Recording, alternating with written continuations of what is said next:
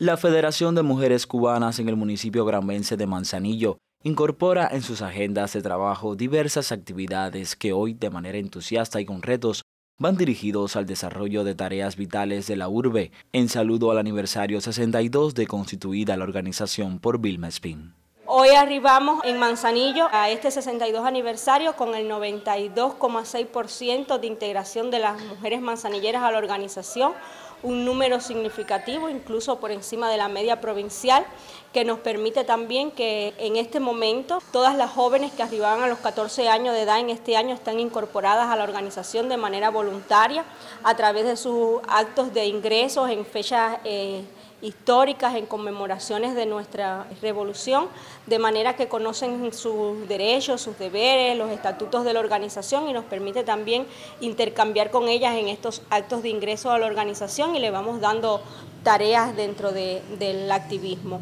Para estas Marianas, revitalizar la misión y el funcionamiento de la estructura orgánica en el actual contexto es objetivo estratégico en aras de estimular la incorporación de sus miembros a los programas económicos, políticos y sociales que se desarrollan en las comunidades. Hemos aportado también desde la economía, hemos aportado desde todo lo que se ha hecho por la COVID, se continúa haciendo desde los centros vacunatorios, desde las pesquisas que hoy se desarrollan para el combate con el, contra el dengue, contra el mosquito Aedes aegypti. Las mujeres nos mantenemos activas en todos los procesos. Las mujeres hoy que enfrentamos la situación electroenergética nacional, bastante compleja, pero aportando desde nuestros centros de trabajo, desde los hogares, en la manera de poder nosotras llevar la, vida sobre esta situación que nos afecta hoy y con el compromiso de seguir adelante y con la fe en que se va a restablecer nuevamente todo el sistema electroenergético nacional y volveremos a nuestra tranquilidad. El trabajo con la familia y los jóvenes, la prevención de todo tipo de violencia contra las mujeres